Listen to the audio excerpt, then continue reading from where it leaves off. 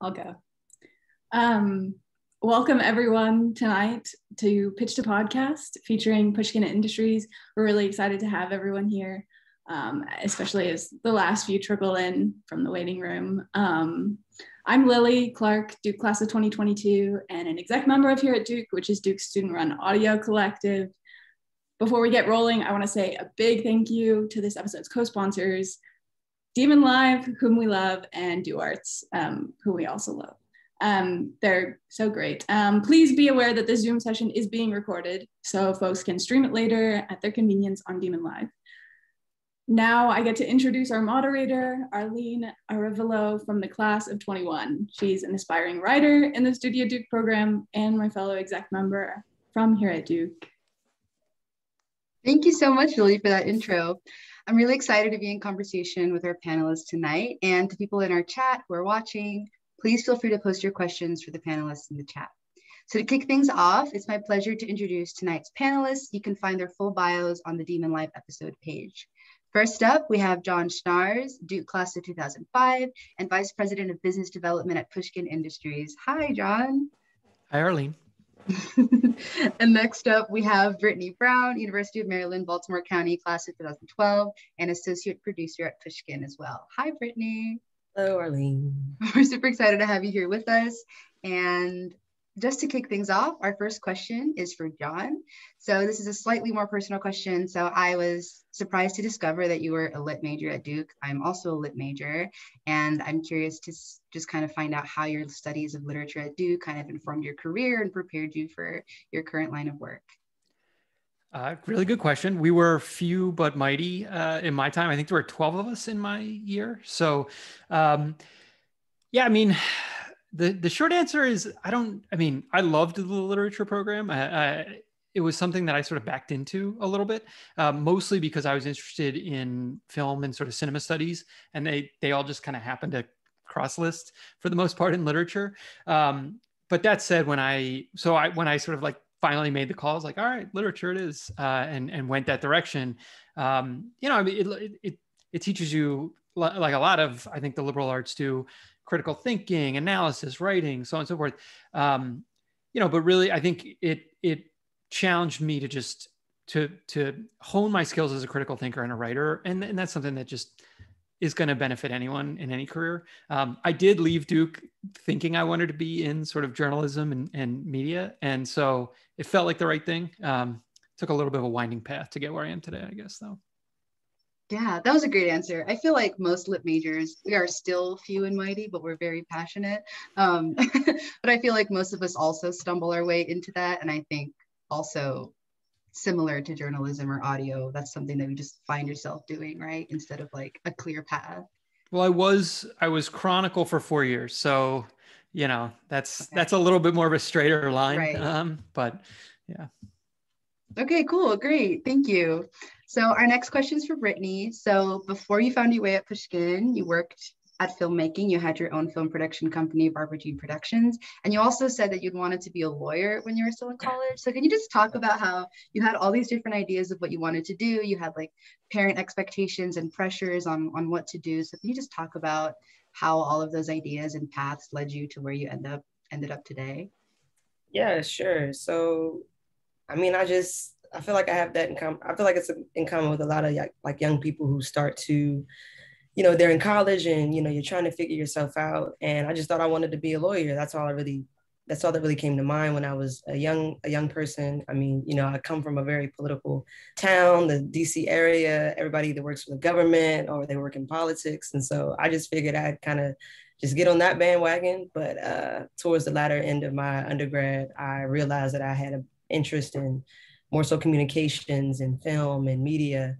And so right after college, I started my own production company, and I was pretty much running around with my um with my cousin and filming him and just doing things that I just enjoyed. And um, and I'm glad that I did that. Um, and after that, I was able to basically go to New York um, by way of uh, Viacom. And after that, uh, I was able to you know, just kind of stumble into podcasting. I always tell folks that podcasting found me.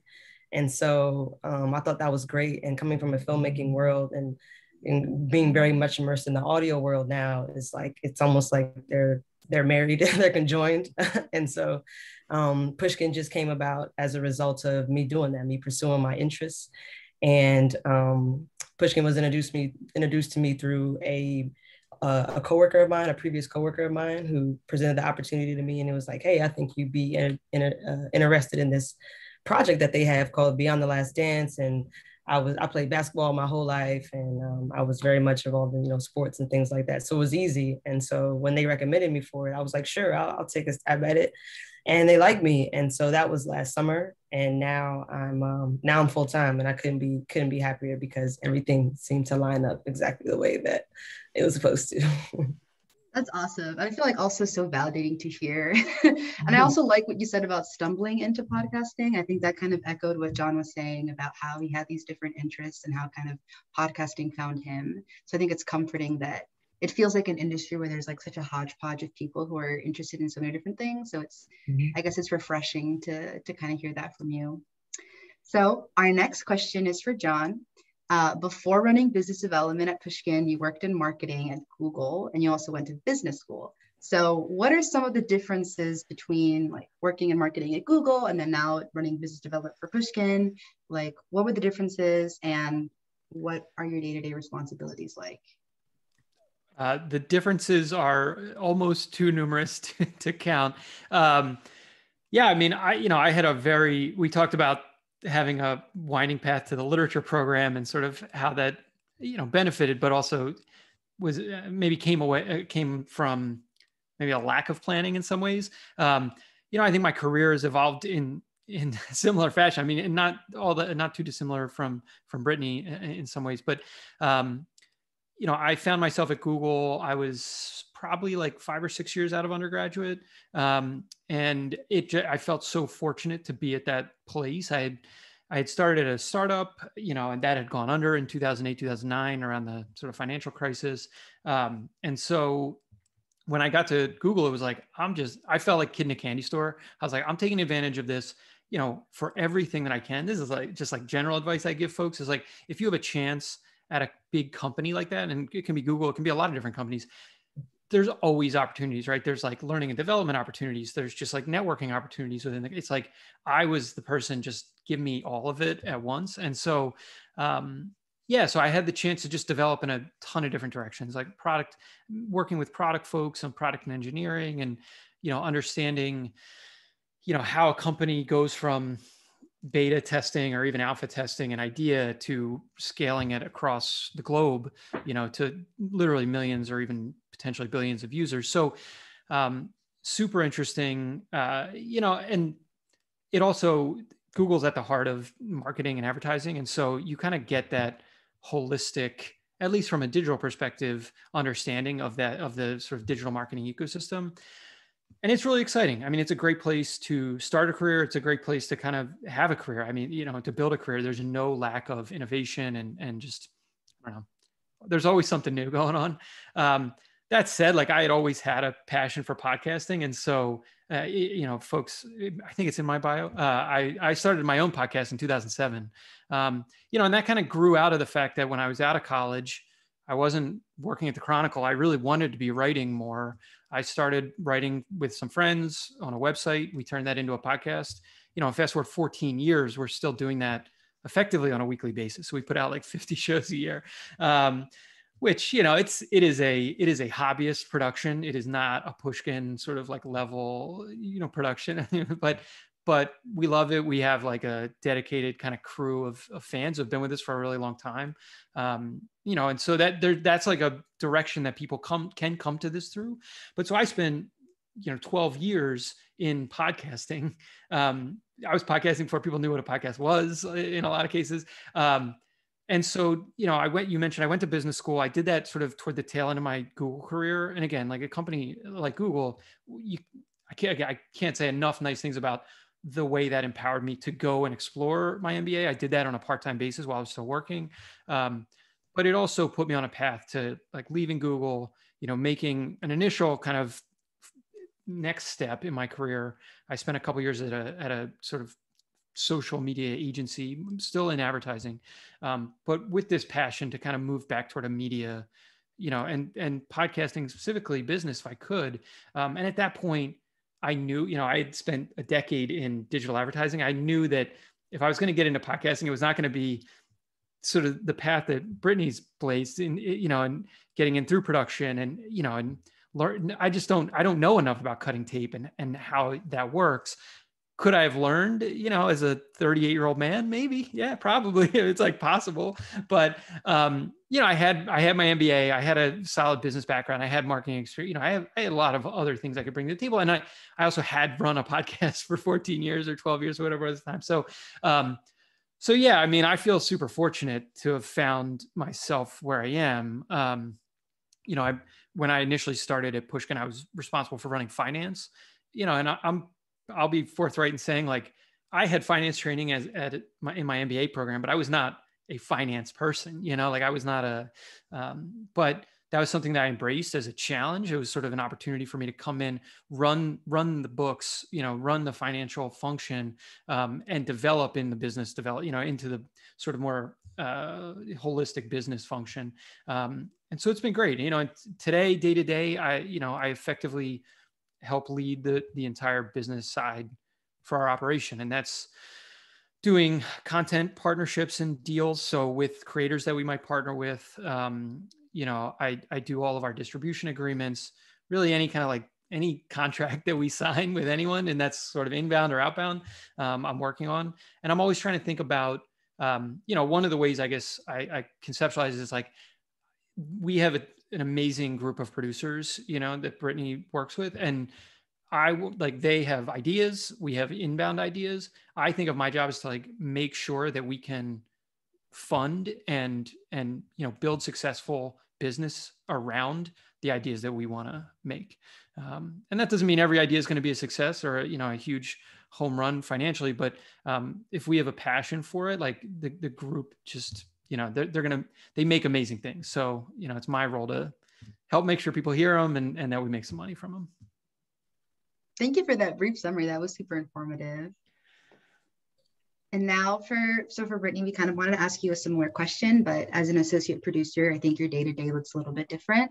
So mm-hmm. we were also curious about your day-to-days, but also what do you look for when you're developing and searching for story episodes? And also if you could talk a little bit more about the work you're doing on the podcast, Be Anti-Racist with Ibram X. Kendi. So just like talk about those experiences if you could. Um, sure. So well, right now we're in the very early stages of production. And so it's a lot of logistics logistics that you have to work out when it comes to creating a new show. I mean, like even production workflow, where where there are a lot of docs that are involved. Um, you have to make sure you know everybody's on the same page. Scheduling is a really big thing.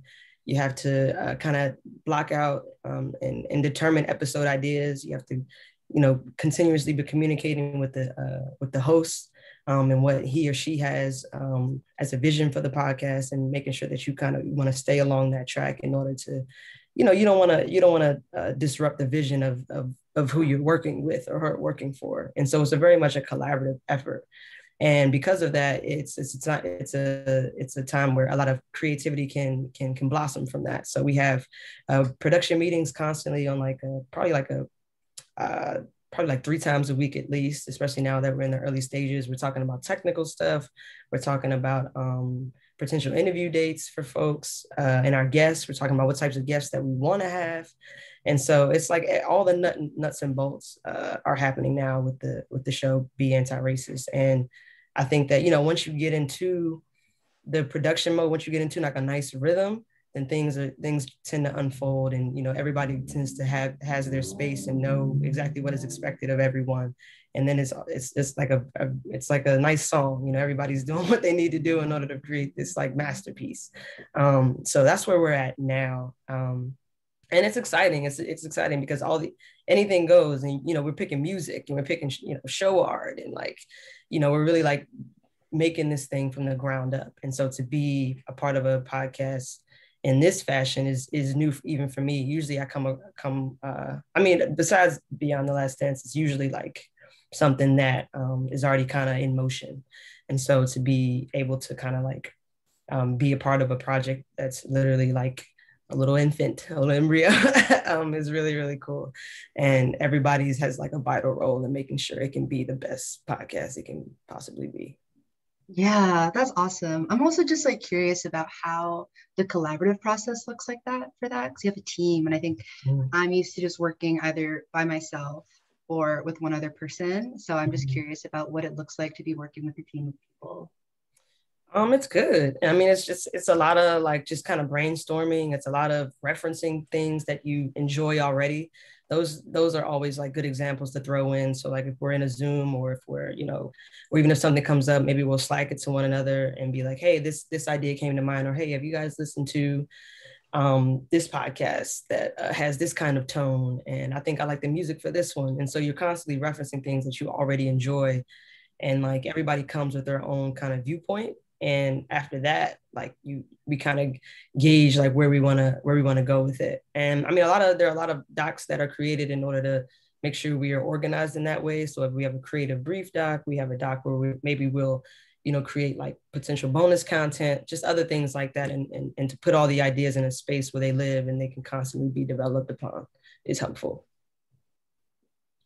Yeah awesome. Thank you so our next question is about how, so we've kind of spoken about how you have each kind of broken into the podcasting industry.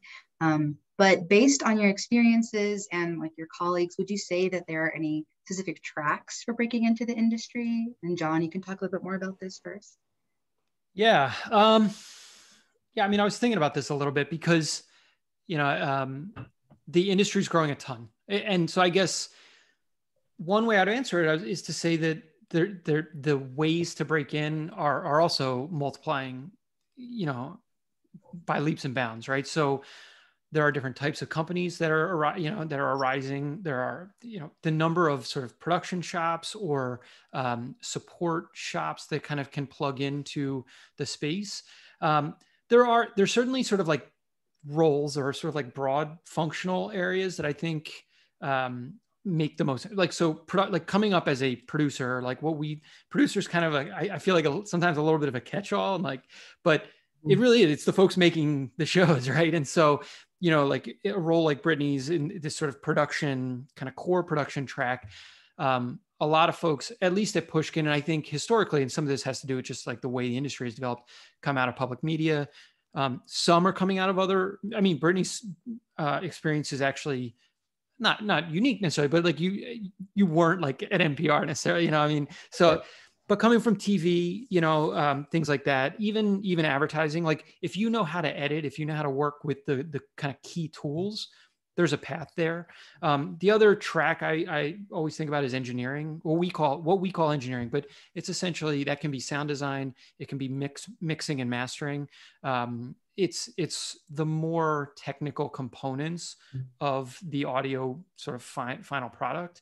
Um, you know, there's more there's then there's kind of the more traditional media business functions, right? So marketing, um, we our marketing team is growing a lot right now, you know, so we're adding folks there, um, and then you know the, the business bucket so the bucket that i fall in which you know it's certainly finance like i actually think pushkin we're we're probably on the larger end of production companies, certainly independent uh, podcast production companies. So we we do have a defined, you know, fi- we have a finance lead now, a woman that I work with pretty closely. Um, we have an analytics person dis- discipline. It's a one person discipline right now, um, small but mighty. Uh, so um, yeah, I mean, so there's there's a lot of ways in. I think um, having a passion is really important and being like willing to learn. That i think too and maybe brittani can speak to it, like there's places you can learn the skill like the kind of technical skills mm-hmm. um, which i know some of the folks that at pushkin have come out of but i don't know brittani if you have advice on that. Yeah sure. Yeah to, so to piggyback what you were saying about the technical skills that does help. And to and to you don't necessarily have to I mean, some some folks come into come into a field and know exactly what they want to do and exactly you know, and they from start to finish, and that's what they pursue.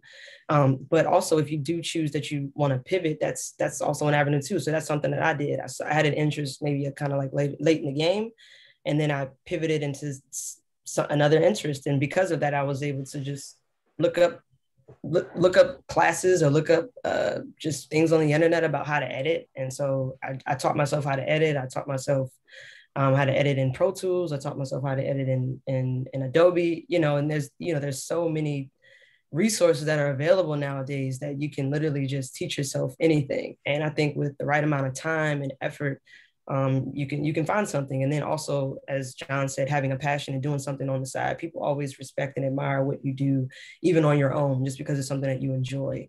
And so to that point, I would say it's also about like everything is about relationships. So if you're surrounding yourself with people who are like-minded or, or surrounding yourself with people who are interested in the thing that you want to do and making those connections, you'd be surprised as to what you can learn and what direction they can point you in in order to get on the track that they're on or, or in order to help you get on your own track and pursue exactly what you want to do. So I would say that that's the main thing. Just start speaking about what you want to do if you're not necessarily in podcasting or in it yet, or if you're not fully engulfed in it yet. Like just start going to groups, maybe looking up stuff online and researching folks who are who are doing what you want to do, and that helps. Um, that helps a, a ton.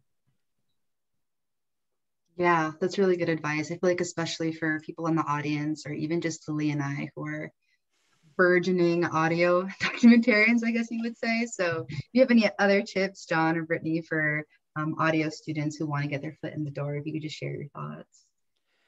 Well, I, I mean, what Brittany just said, like, I think there's a unique opportunity when you are a student that you, you know, if you have the bandwidth in your schedule, or if you can make the band, you know, the, the bandwidth or the time, you have the space, right? Like you're never, I, college students, I remember somewhat being a college student at this point. Um, you probably get sick of hearing it, but like you, you really don't ever have as much time. you know, maybe if you like come out like I did and don't have a job right away, you have a lot of time too. I, you know, I had that period. So, um, you know, I mean, so it is like, yeah, I mean, as Brittani said, like there's no substitute for doing it. Like there is a level of you just gotta kind of like start chipping away at it.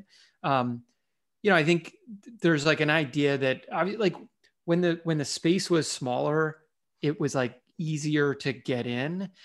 That's true only insofar as like maybe it was easier to get noticed because there just weren't that many people doing. It. I mean, so like my my hobby show that I do is a horror movie podcast.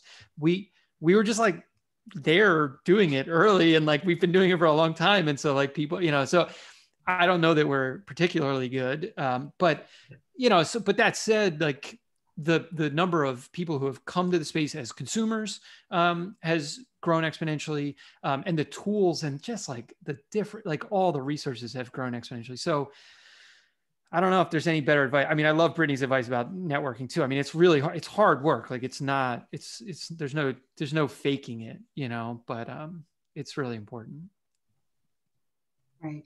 Yeah. Okay. Thank you so much for that advice. So we've kind of talked a little bit about ways to break in and you know both of your individual paths we're going to kind of shift gears a little bit and talk a little about pitching. So this next question your raised eyebrows jon. This next question is uh, geared towards you. Um, so what does pitching a podcast look like at pushkin? And do you have any tips for people who want to pitch their podcasts?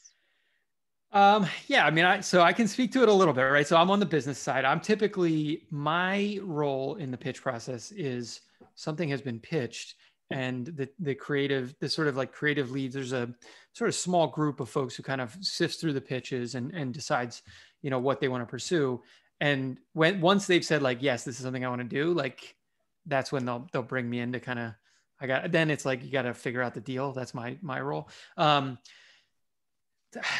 do I have advice? So I think pitching to Pushkin is like a specific thing. I mean, like we're, um, you know, we're we're looking for very specific types of things. We're looking, we, you know, we're working with specific talent a lot of the time is like a big thing for Pushkin. So if you look across most of our shows, there's typically like a recognizable name attached to them. You know, I mean, Mal- Malcolm Gladwell is one of our co-founders you know fairly prominent writer and journalist you know and so you kind of like look down the the roster and it's we we do look for you know big so one j- joke I used to make, and it's like less and less true. I said, uh, "You want a Pushkin podcast? You got to be a New Yorker writer or uh, you know an Ivy League uh, professor." We've expanded beyond that a little bit. Now, I mean, I'm joking, but um, we still like that's still a core group for us in a lot of ways.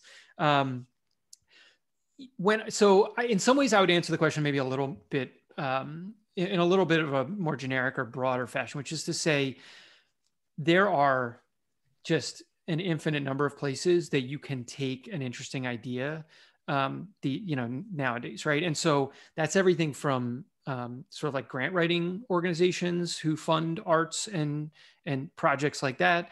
Um, and then it's every other podcast sort of production group you know and and they run the gamut from public media all the way through to, to sort of private companies and and then even some big publicly held companies that have you know podcast production arms. Um, i think the key thing is understand the audience. Who are you pitching to? Um, and and tailor your pitch right? So like we we have a, a generic pitch uh, email address. I think it's pitches at or something you know i mean it's very generic. And so you can imagine the things that come in through that. Like it's like everything under the sun. Um, and a lot of them just feel like shotgun pitches like ah like i've teed up this pitch and i'm gonna like send it. Dear sir or madam like here you, you know i mean so i think understand who you're pitching to and and try to understand like why it's the right home you know? I mean the shotgun approach like i i know why people do it like i've done it with my resume you know? You're just like i'm gonna spray them out and see what happens.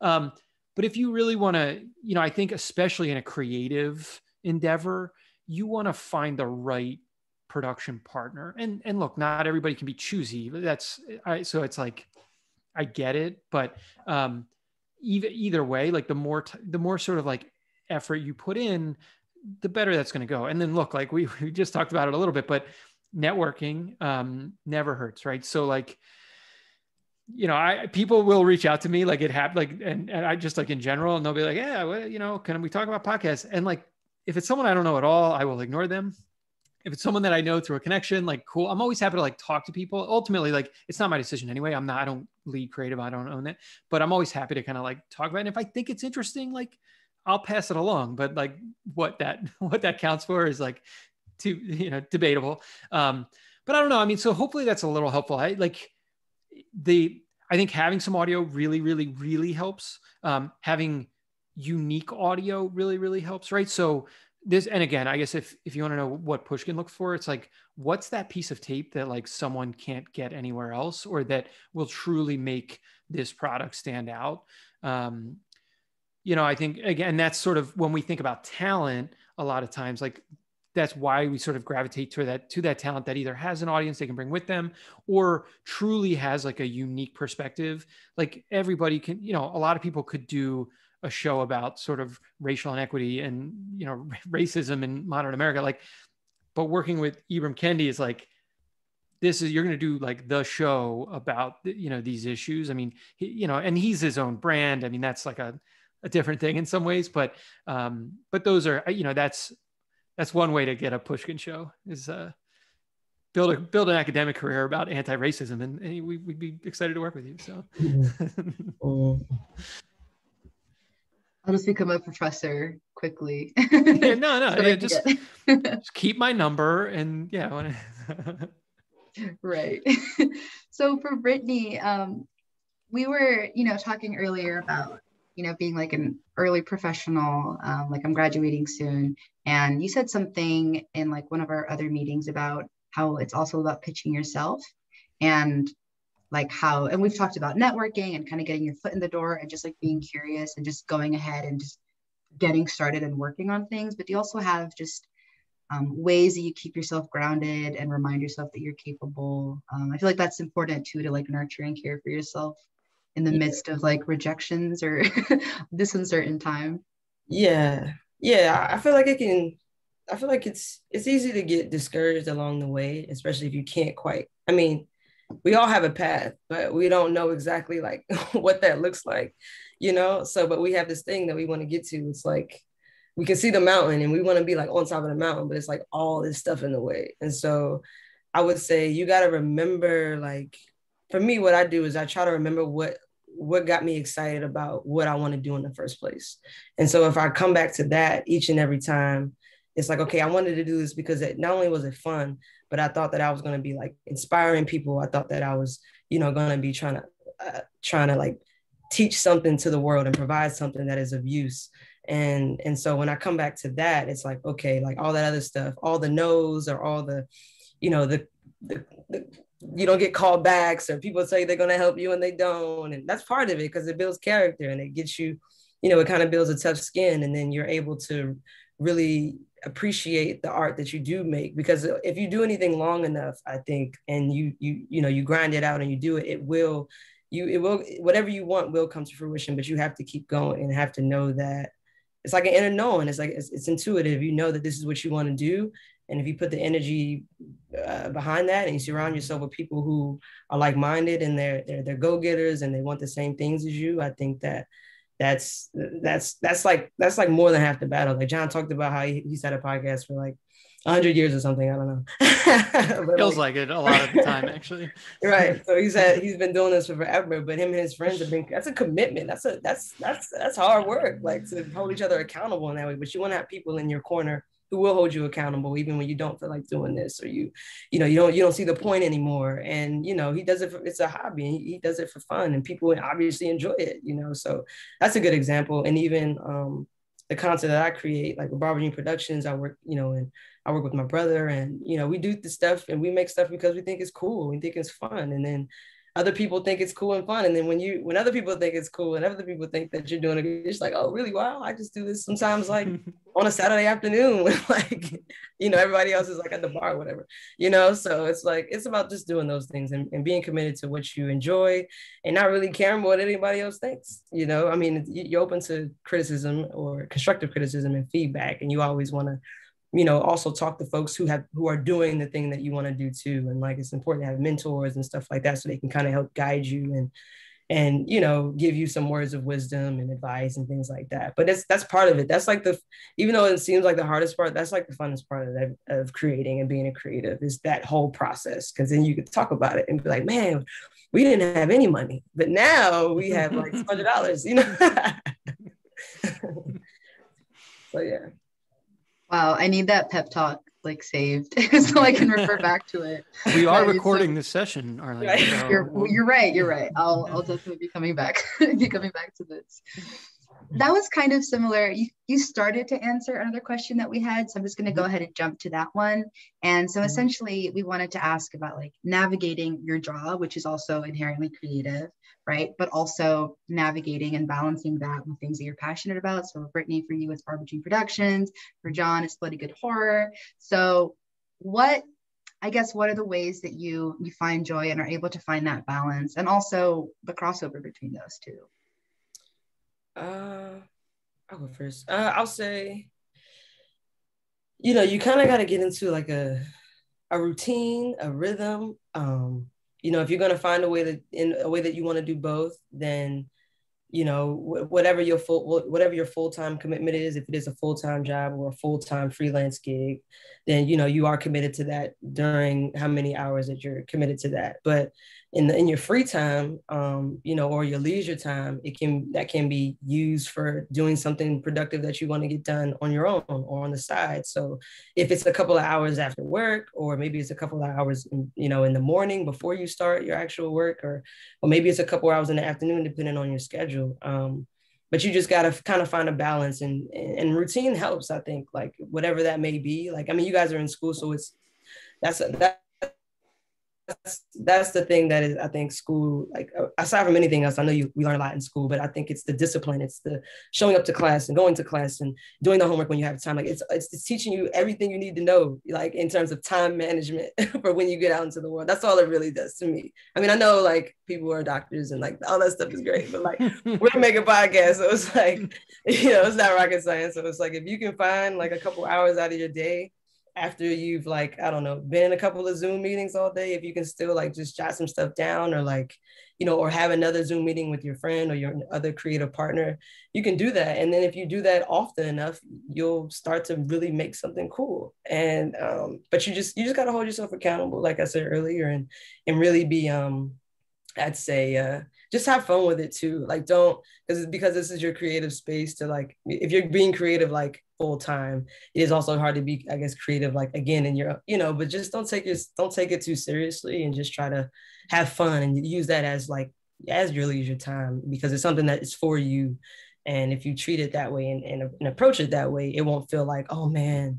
now I got to work on my stuff. It shouldn't feel like that because if it feels like that, it's like, okay, well, maybe we need to take a break. well, you're not going to do it, right? You're right. Yeah. You'll find every excuse. Right. Yeah. I, I pretty, I love the point about uh, having a routine. Like I never thought of myself as a routine person, but like you do, I mean, you do, right? Like part of like job, having a job, it gets you into a routine too. But um, for, if you do have a passion outside, like whether it's a hobby, you know, like mine, or if you're pursuing like legit creative stuff, like you, you, you I think you do have to find, make that space for it. And, and Brittani also mentioned earlier, but it, you're 100% right. Like part of it, at least for me and what I'm doing, it's like finding the right group and mm. having, and that, that for, you know, for me, that's evolved over a decade plus there's a core group of folks who started and some have peeled away a little bit they're you know are still around in certain ways but it's really like who are the folks who are going to be kind of in that that foxhole i mean it's not a mm-hmm. battle not but you know it's like who's in this with you um, and who's also going to who's willing to kind of also be on that same routine um, but i think the, the key with having a group if you are trying to make something like you know a collective podcast like ours is you can spell each other like there are weeks where it's like guys, I'm out. Like I can't, you know, I can't do it. Like it's just like I got too much shit going on, like in personal life and work, whatever it is. Like I used to have to travel a lot for work, and like that was brutal, you know. And and so I was in and out more than I wanted to be. Turns out when there's a pandemic, you can just you can do a podcast every night if you want. I mean, there's uh, but you know, so it is it's tough. I mean, look, it's not it's never easy. And if you don't have the passion, if you and if if you do feel like it's a slog, like I just I feel like that's the death of it, really. Mm-hmm. Mm-hmm. Yes, agreed. wow, that was really great. Not to be um, grim, but no, no, I think it's I think it's good. I think it's realistic.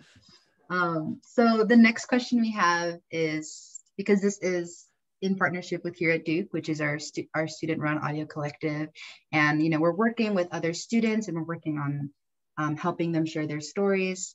And we're just curious about what are some of your strategies for small content groups like Hear at Duke to kind of build an audience and to build a following?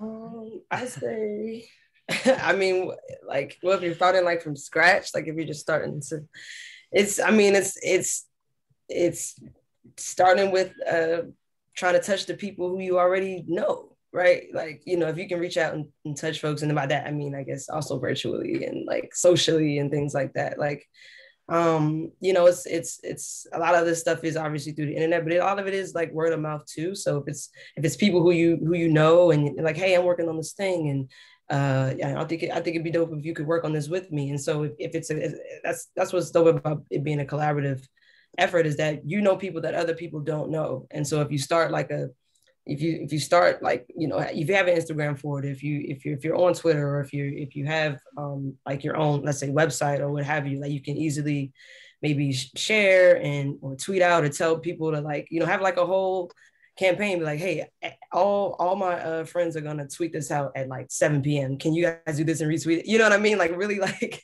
get people involved who you know. And sooner or later the folks who you don't know will learn about the thing that you're doing and that's like that's what you want. You want people who like you don't even know like how'd you wow i didn't even know this person. How'd you find out about me? Like i'm just like at duke like in my dorm room or in my apartment or whatever whatever you know? So it's i would think it's that i think really like hasn't changed. Um, i mean the internet's obviously something that we've like you know something that is like a huge asset but like you know i think if you have a like a something that's unique and something that or, or something that people can relate to or grab onto or that's just original like it, the people will come you know you just gotta you gotta create it i think. I, I, that's like a very generic answer but it's true i think so. No i mean there are that it's like there's kind of like the core tactics of like get your your stuff out.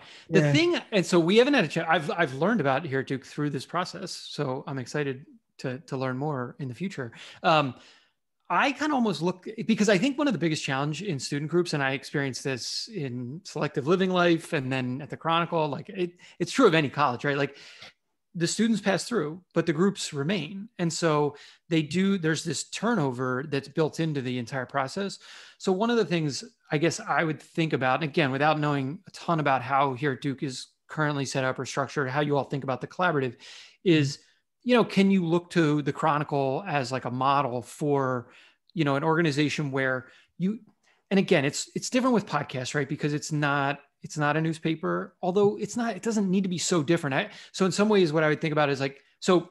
And sorry to take a step back, but with podcasting, like the audience is an RSS feed, right? Like this, like it's, it's sort of basic. I hope this is not doesn't sound like I'm not being pedantic or anything, but like you have an RSS feed and you put content down the RSS feed and people subscribe to the RSS feed to get the podcast. There are other models for getting the content out there and like, but that's like 99% of podcasts are in that model. Um, and so it's really a question of like how many RSS feeds can you create and how big an audience can you create for those RSS? And so in some ways, I guess where I was going with the sort of chronicle analogy is can you create one that is the Hear at Duke feed or or you know a show that becomes kind of the tent pole that you will have the staff cycle through because you know every four years you're going to have a you know a completely new group but where you have a model of sort of like leadership and you know ascension and replacement kind of built in but that the show and the feed remains the same. You know it's like it's the i mean uh, well, the, the radio sh- uh, radio station rdu wrdu is that what it's called? There used to is there WXDU. still radio wxdu I should I should remember that. I had You're a keychain. I was yeah, I was just, you know. Um, but XDU, right? Like it's it's a similar model. Like so can you build that like core offering that can be maintained over time? And then what you do once you have that core offering is you use that to seed other things. So in the case of like Arlene, you're developing a show that's like a narrative, sort of like closed loop, you know, sh- short run, you know, narrative documentary it's really hard to like get those things out there. I mean, this is like it's hard for like Pushkin to do this to get them out there, to have them get found and to have them be successful. Like people will find it over time because it exists forever, but to have people find it in the moment is really really tough. If you have a like feed, I keep I keep coming back to this concept of RSS, but like if you have an audience that subscribes to this main feed, you can use that to then seed other feeds, right? And so those could be short runs those can be net new shows in different you know content areas. Um, but you know it's hard because i'm sure you know the students that come after you three four years later like they might not like the show that you've developed and built. Um, the hope is you find something that can be fresh for everyone and can have a different voice but be the container that everyone can fit into. I don't know. That's like a pretty specific idea but hopefully it gives you uh, a little bit of starting place no, definitely. And I think I think it gives us a lot to think about, especially since we kind of restarted this group this year. It had been inactive for a couple years. So I think we're just figuring out ways to like best set the structure so that when I leave and when other people leave, it can be something that can be like replicated when we leave. So yeah, great advice. Um, so we have a couple more questions, but I kind of want to do them rapid fire to not um, take up too much time. So the next question we have is for both of y'all. What are the pros and cons of producing a podcast through a production company versus independently? And I think this is something that Lynn, Lily and I are thinking about because, you know, we're working on that series and eventually some point in the distant future, we'll be thinking about pitching it. So if you could just quickly say um, the pros and cons. The pros are that someone else is paying for it. That's the pro.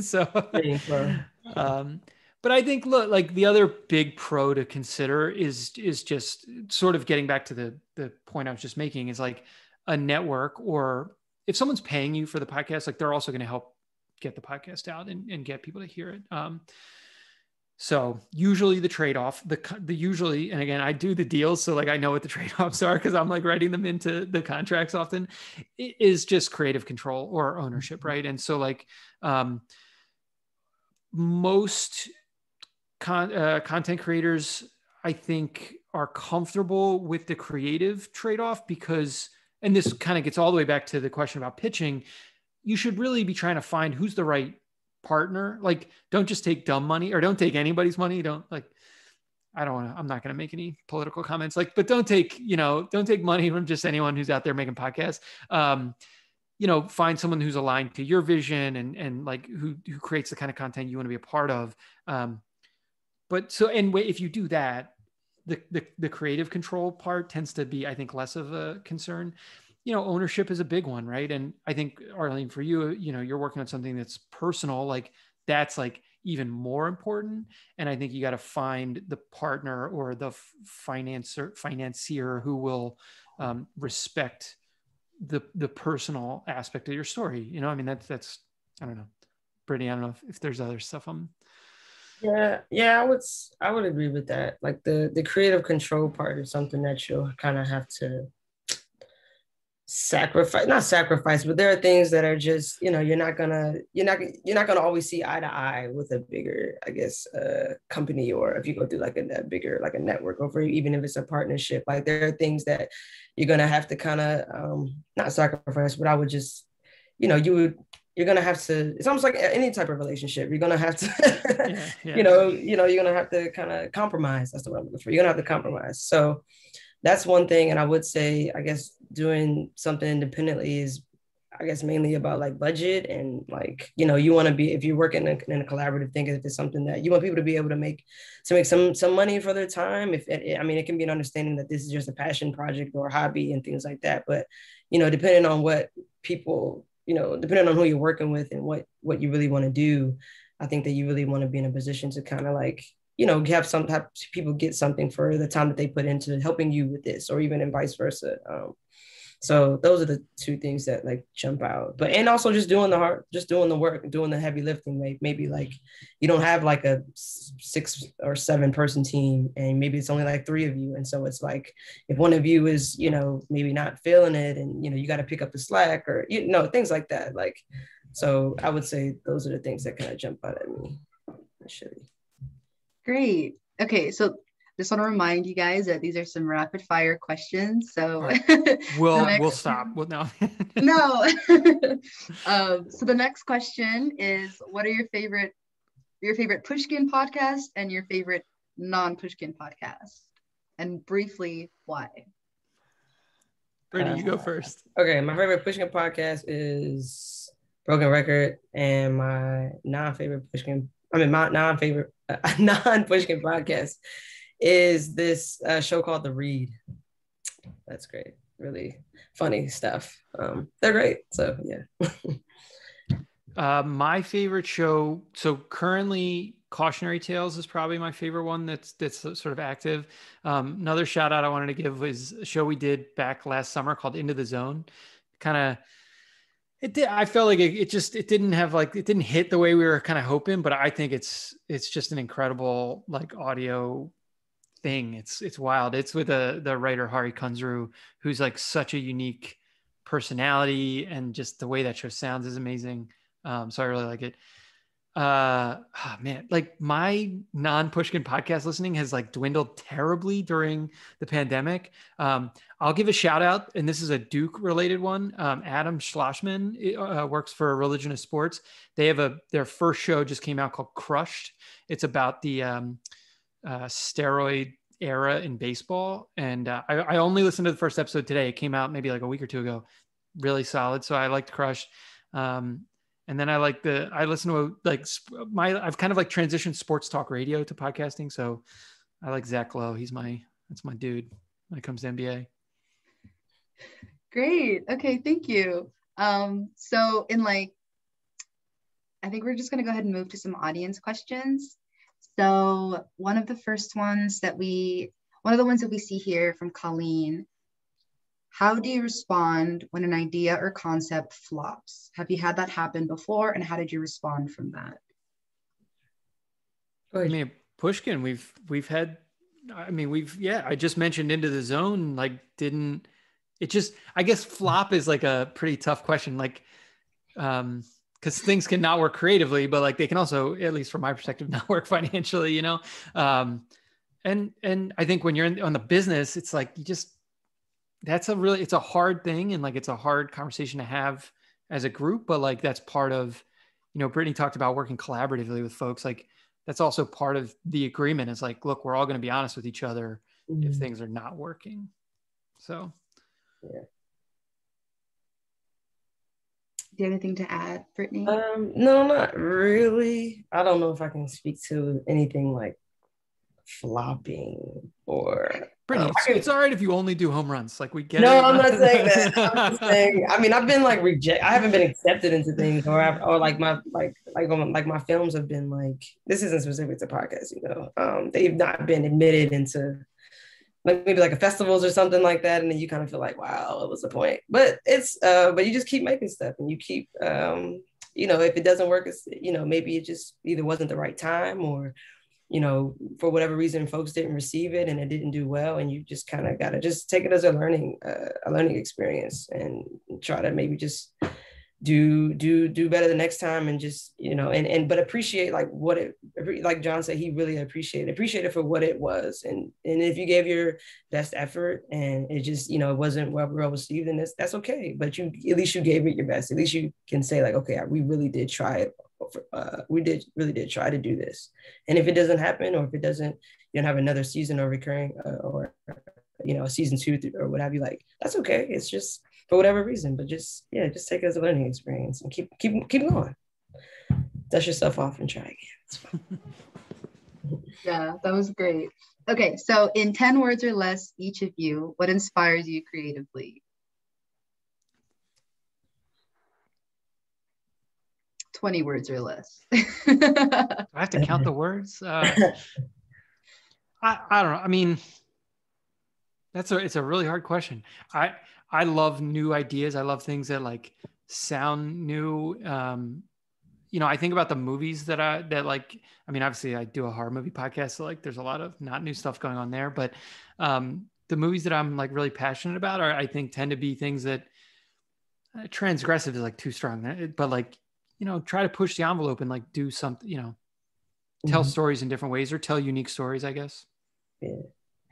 Yeah, I would say I would say just the people around me or um sorry the people around me and uh um and even my family. Um you you'd be surprised as to like what comes out of like just knowing different types of people and being able to grab certain experience or be if you're close to certain, you know, certain folks and you know, an idea may come to mind, but that's something that maybe like your mom's friend's sister said one time, you know, like stuff like that. Um, and I feel like it creates a more authentic voice that way too. Yeah, that was great. Okay, so the next question is what's next for each of you?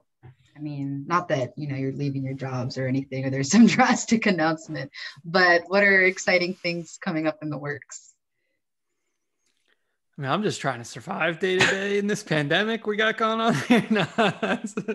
Uh, uh, I'm gonna move my family back to New York City. I lived in New York City for 15 years, and and I've relocated. I uh, I was joking with Arlene and, and the crew earlier. I, I'm living with my in-laws. Um, it is a where it's actually a multi-generational Duke family, so you know we're we're staying strong. But uh, I'm ready to get out of here. I'm ready to go back to New York. That's a big one for me.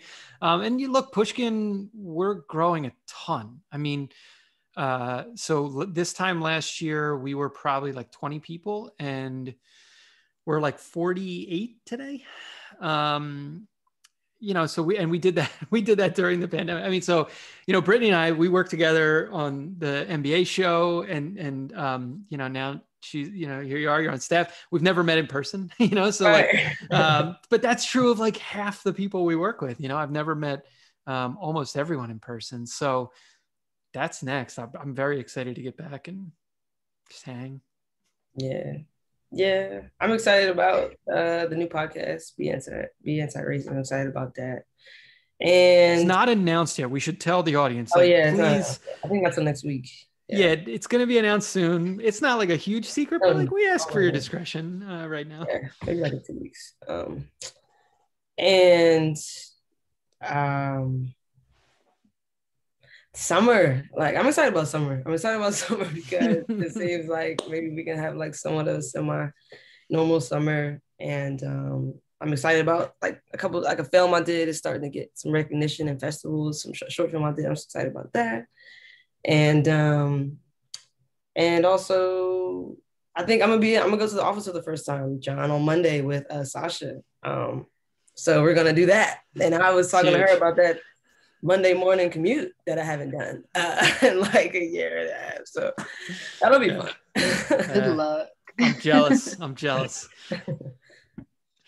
Well, that's all the time we have for today, but I just wanted to thank you so much for giving us your time and chatting with us. I learned so much, and I hope our audience learned so much. Um, I'm going to go ahead and pass things off to Lily just to wrap things up.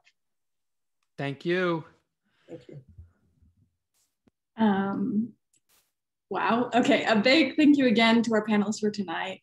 I feel like it was a gift for me and all the other Dukies here to hear their like very empathetic and grounded and real, but also encouraging advice. So wonderful to meet you. And also, Arlene killed it as our moderator and fielding our audience questions. So claps for her. Um, so we did mention a few times this is recorded. It's recorded. You can stream it after the fact, um, along with more episodes of DEMAN Live about so many different topics. They're all so good. At the link Nina just dropped in the chat, um, arts.duke.edu slash DEMAN.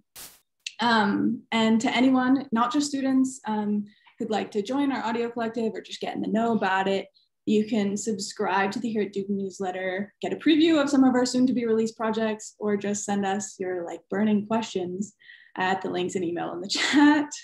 Um, thank you everyone again for joining us. It's been a great evening. Um, a shout out to all our collaborators who you know we'll put up on the screen in a second. They helped us get the word out. Uh, everyone stay safe and stay well, and we hope to see you again soon in this virtual DEMAN space. It's a wrap.